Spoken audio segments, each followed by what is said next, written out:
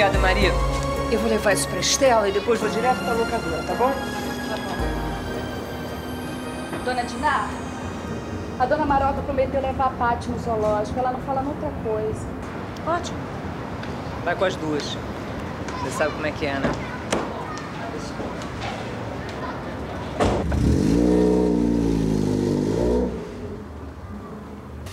O senhor quiser, eu pego um táxi pro senhor. Não, precisa não, Kida. Eu vou caminhar um pouquinho, viu? Eu vou até a oficina, meu carro já deve estar pronto. O senhor podia usar o carro novo do Tato, né? Não, ele levou o Dudu até o judô.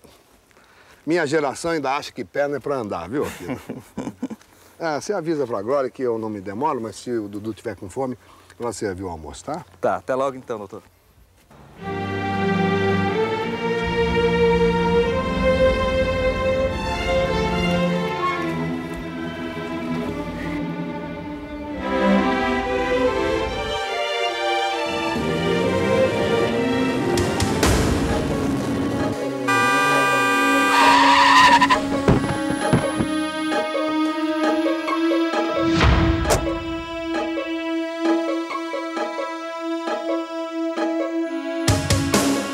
Que, que você estava correndo tanto?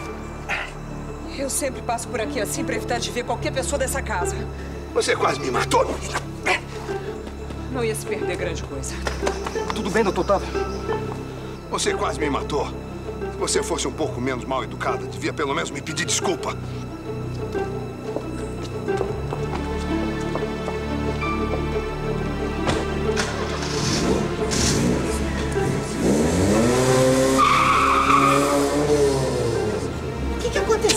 Aquela moça doida quase matou ele. Você conhece?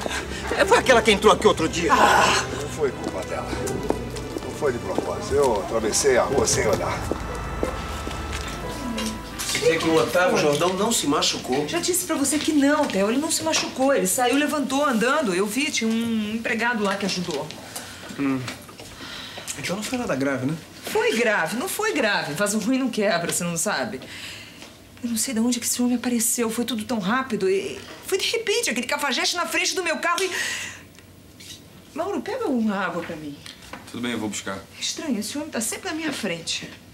Ô, Diná, me diz uma coisa, por que, que você tava correndo tanto? Eu já te falei.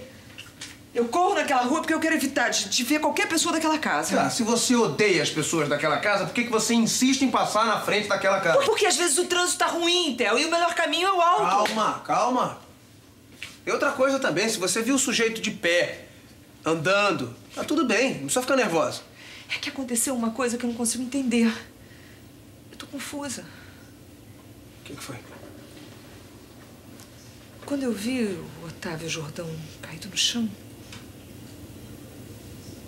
eu juro, eu tive a sensação nítida que aquilo já tinha acontecido antes.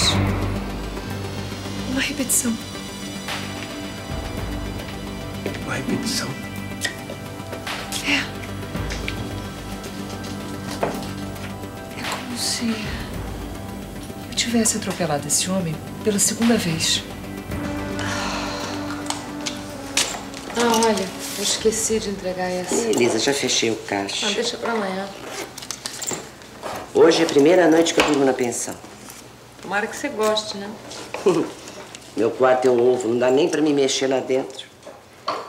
É melhor do que enfrentar ladrão. É, isso é verdade. Ô, ô, ô, Elisa, vem cá, você não viu aquela escovinha fininha? Hum, deram a Elza, não vi não. Ai, não deram a Elza. Elza. Deram a Elza, cara. Dona Fátima, vou pegar meu caderno aqui embaixo. Elisa, aquele moço tá te esperando. Quem? Aquele do outro dia, o Mauro. Mauro?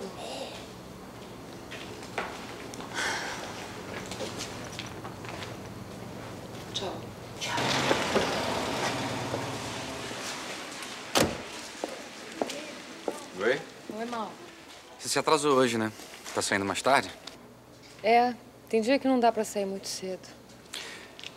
E aí, você foi domingo lá no presídio? Fui. Eu achei melhor. O Alexandre ficou super contente e... Eu não volto lá tão cedo, sabe? Faz muito bem.